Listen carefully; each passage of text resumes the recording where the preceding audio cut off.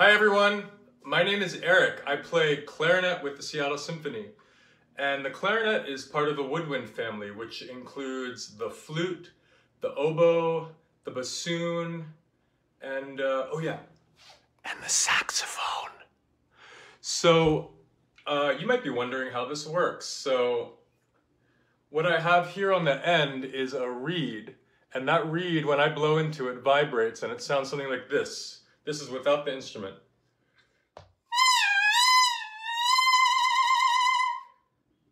And then when I put it onto the rest of the horn, you get something like this.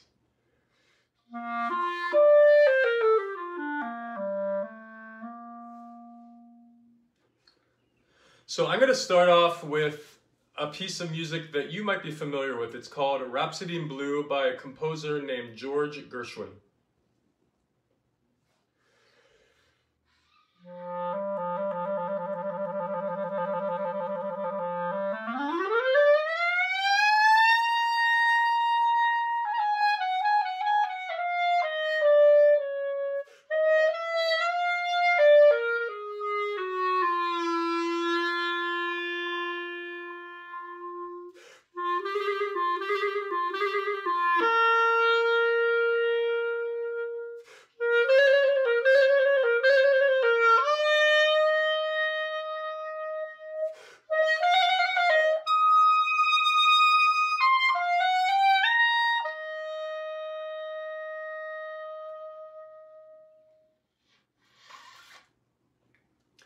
So as you probably heard, that was influenced by jazz music, which the clarinet plays a really important part of in the history of the instrument. So to contrast with that piece, I'm going to play another jazz uh, inspired piece by uh, one of the most well-known artists, composers, musicians, performers in history. His name was Duke Ellington. And this piece is called In a Sentimental Mood. And you're going to hear kind of more the sweet romantic side of the clarinet. Composers love using the clarinet to represent love and passion. So this one is called In a Sentimental Mood.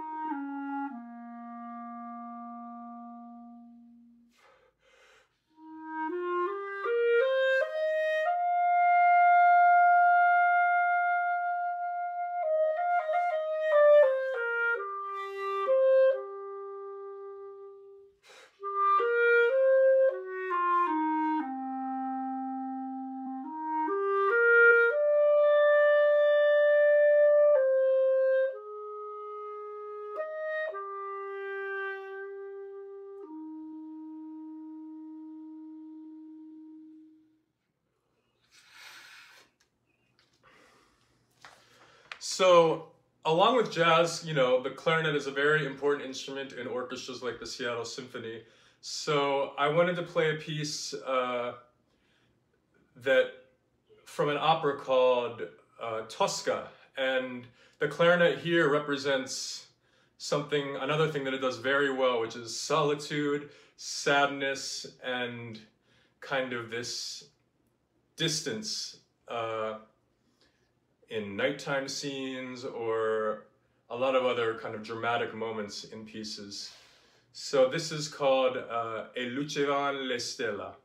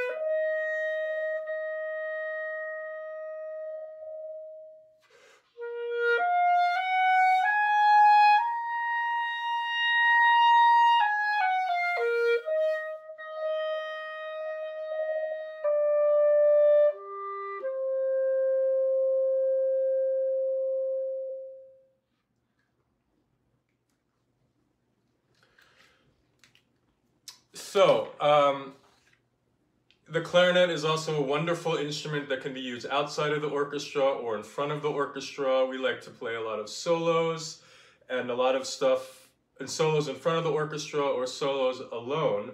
So to represent some of that music, I wanted to share with you a piece by Clara Schumann. Um, and this piece represents another side of the clarinet, which is kind of this prideful excitement. And this is the third movement from her three romances for clarinet and piano.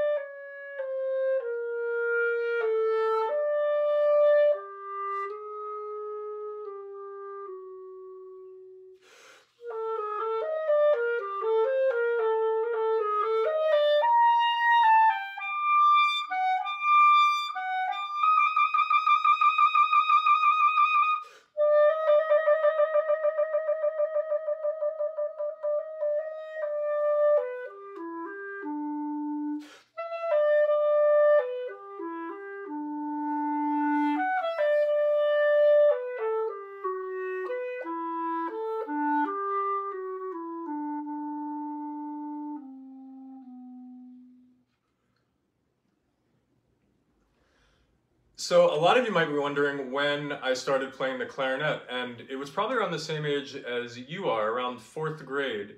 And I remember I went with my parents to go pick up the clarinet at the store, and we were renting it, but uh, you know, you hold the clarinet like this. The left hand is on top, covering the holes there, and then the right hand rests on this thumb rest here on the bottom.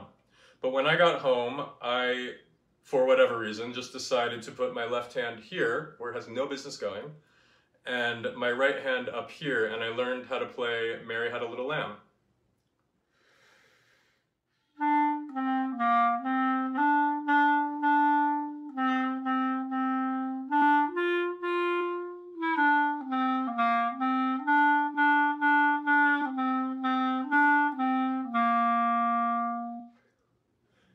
And, you know, I have a slightly better embouchure now, but if it was a really, you know, I think when I first took it out, it was probably sounded something like this.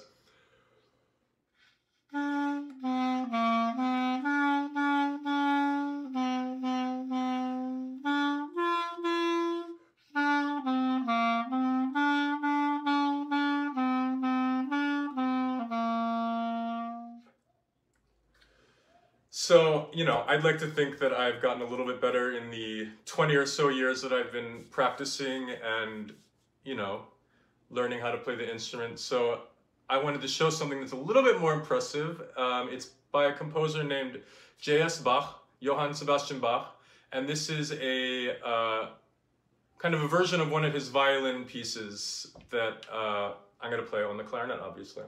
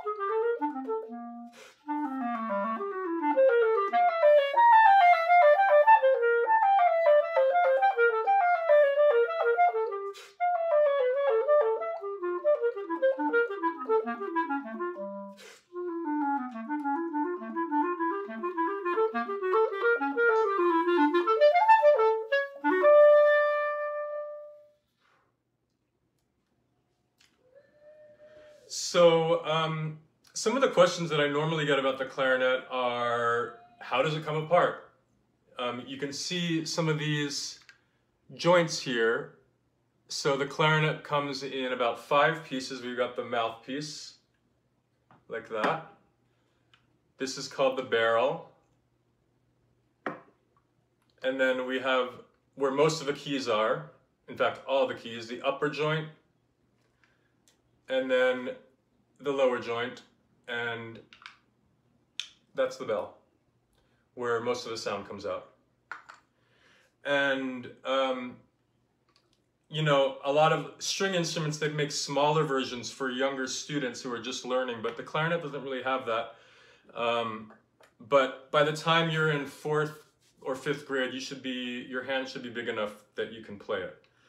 And um, once you start getting interested in it and you know want to find out more about it there are so many different kinds of clarinets. There's the this clarinet which is called the soprano clarinet and then there's an alto clarinet which is about twice this size and snakes around like this and then there's the bass clarinet which is twice the size of that and it looks in a similar shape snaking like this and then there's the contrabass which you know, basically just looks like an oversized paper clip. It's just wraps, wraps, wraps around, and it's made out of metal.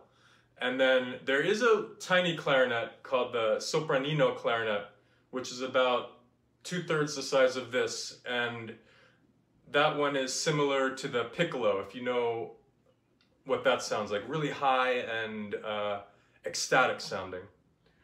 And uh, this is perfect timing, actually. Another question I get is how do you clean it? Because I need to clean out my instrument right now. And we have these swabs here. And if you look down here, you can see that condensation builds inside the clarinet here. And we just swipe this through. And that usually gets takes care of everything uh, inside so that the water doesn't get in the way.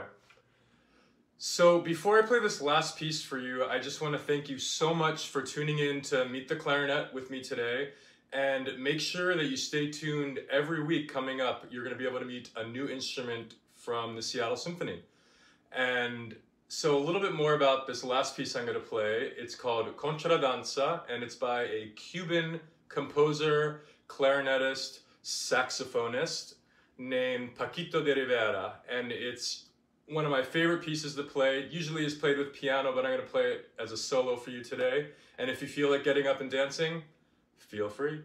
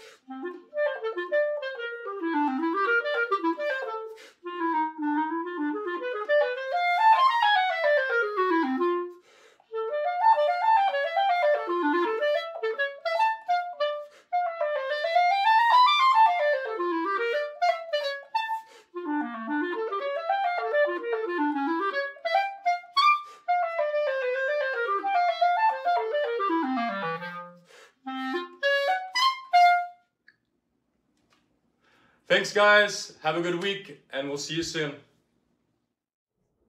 Hi, I'm Amy from the Seattle Symphony Education and Community Engagement Team. I hope you enjoyed Eric's video and learning all about the clarinet. I'm here to help you make your own clarinet. There is a link to instructions and a template below.